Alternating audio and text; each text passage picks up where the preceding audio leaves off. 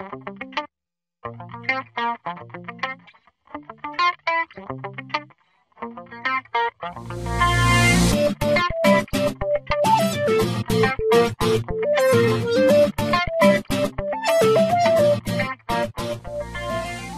guys, this is Cam PhotoPix and today this tutorial will show you how to do a tilt shift effect or what's also called a toy town effect on your picture. Now it's always best to have a picture where you've got a higher than normal viewpoint. So here this was taken on from a roof and as you can see I'm looking down you can see the tops of the roofs, tops of vehicles. This is the kind of viewpoint that you're wanting uh, to get the tilt shift effect or the toy town effect to, to work at its best. So what we'll do is on the background layer we shall right click and duplicate layer and now we have the original background layer and the duplicate layer.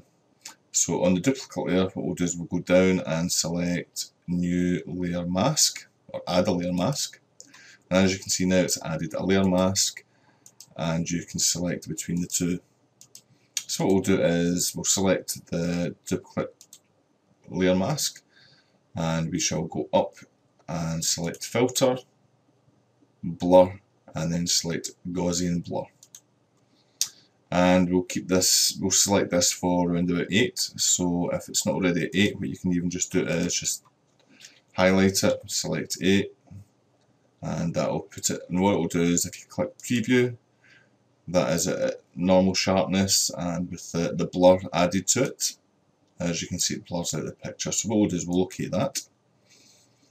And now what to do is select the layer mask which is the, the white window.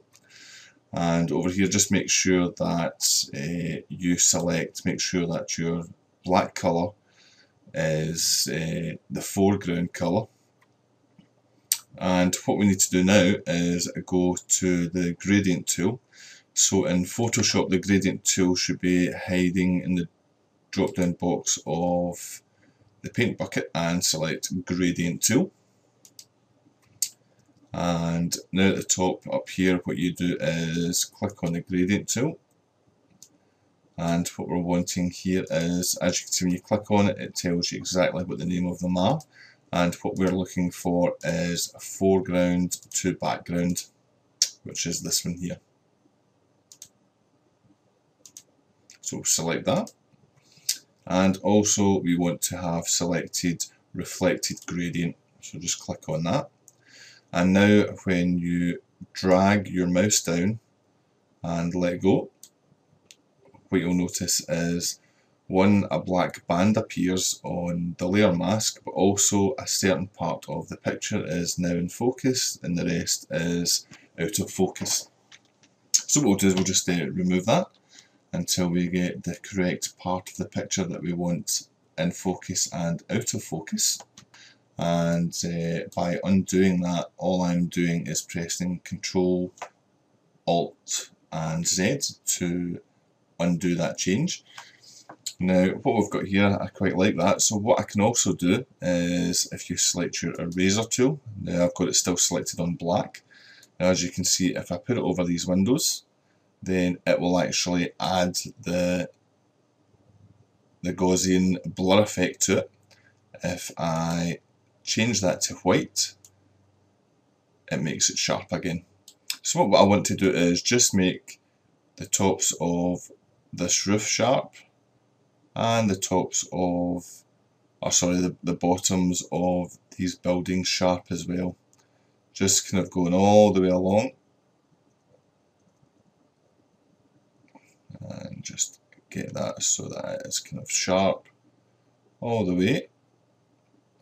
Now what I want to do is, obviously there's a bit here in the background that is in focus, I don't want that.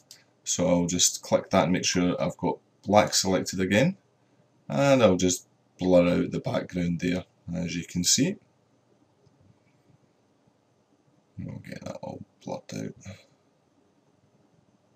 And up the top here as well, we'll just blur that out.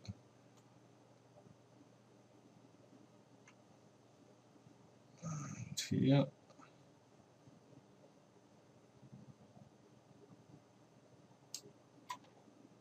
and now you can see the difference between the two. Uh, That's your sharp model